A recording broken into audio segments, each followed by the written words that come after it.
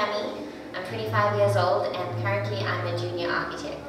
Uh, I met Pa a few days ago and uh, he's been an incredible person in my life already. Yes, people should join this program. Um, from the few hours that we have spent with Pa, um, he has been incredible. Um, I just did um, something that I wouldn't have ever imagined I could possibly do. I just bent a steel rod with my mom using our throats, and it was a scary but exciting experience, and I wouldn't have even had the opportunity to do that if it had not been for Pa. So his presence and his energy has definitely encouraged me to transform my life, and um, I wish to thank him